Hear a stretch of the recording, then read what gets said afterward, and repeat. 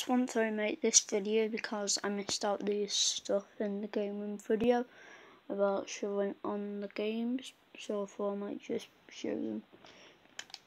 And it's the controls I missed them out on. It's the inside ones. It's an Xbox 360 inside one where you can turn on the light and the button for that is just there so if you wondered how they worked it's just like that. And these are the headsets. I wouldn't be using them like I said because I don't have Xbox Live like I said in the last video. This is um, a Wii U compactor thing where you can play on the screen. This is the thing where you put your Wii U that onto.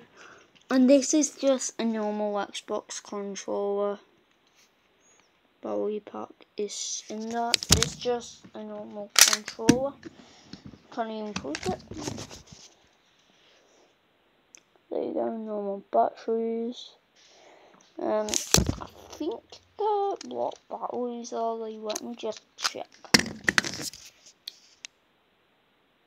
Yeah, I don't know, it, still works actually, so there might be two player videos on the channel too.